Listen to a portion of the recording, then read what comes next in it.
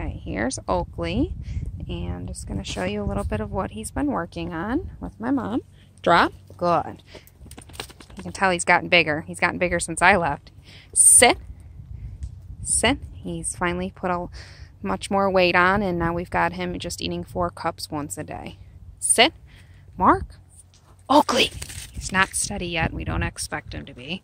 Steady means sitting before sent. Um, he goes as soon as you throw it, which is okay. Go boy, Oakley. Here. This is where he used to play. Here. Heel. Sit. Very nice. Good hold. Good. He used to hold it till you tell him to drop it. Drop. Sit. Now he um, didn't drop it, but if he were, sit sit. Um, then you can tell him to fetch. Go boy. Here. Sit. Good. Sit.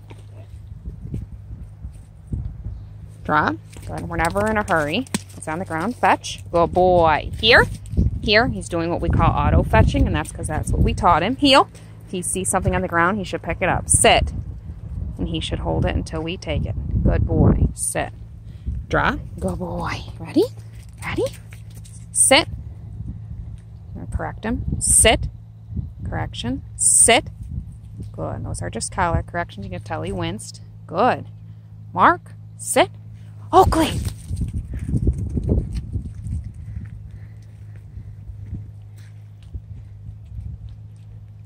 Yard is sloppy. Good boy, Oakley. Good boy. He sees my brother. Here, Oakley. Oh, here. Here. Good boy. Here. Atta boy, Oakley. Come on, buddy. Atta boy. He wanted to play, but he knew better. Here. Heel. Here. Sit. Sit. Good. Until he's young, he gets distracted easy. Good. Sit. Drop. Good boy.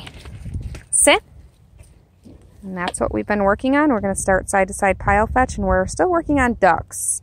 So we're getting there. Say bye. Bye, Mom and Dad. Bye.